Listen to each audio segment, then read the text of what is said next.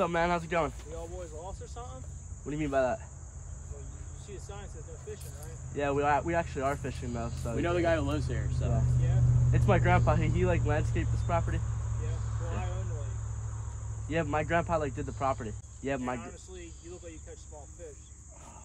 I, dude, I You literally caught a seven call pounder the other day. want me to cops on you? Don't have to call You want cops. to call the cops? Listen, It- we it have doesn't- it's not that deep, man. It's Someone not. gave us permission, that's all 12 matters. What do you want? What'd you say, dude? You want the cops or 12 gauge? What's a 12 gauge? You don't know what a 12 gauge is? Yeah, you're about to find out.